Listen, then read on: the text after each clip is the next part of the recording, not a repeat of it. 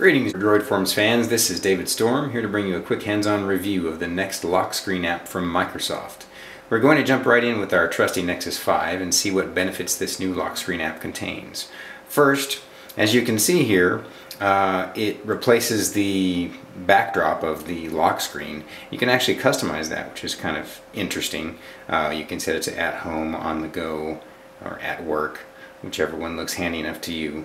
Um, also, you can see your calendar app is, is showing all your different calendar uh, appointments right here on the lock screen, which is the, the main uh, advantage of uh, that, that Microsoft hopes that you will like the app for.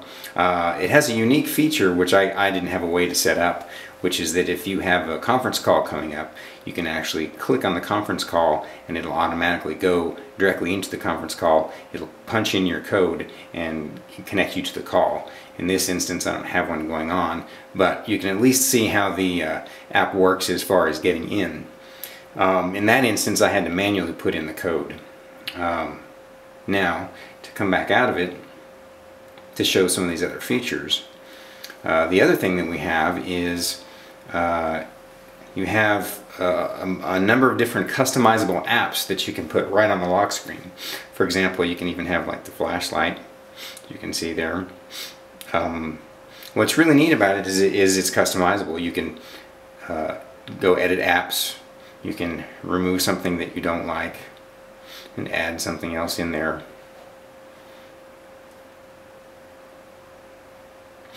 Um, and just to, to get right into your normal screen you just swipe down and then at that point enter your code. Now normally I don't use a code but I set one up for uh, this particular little uh, quick hands-on.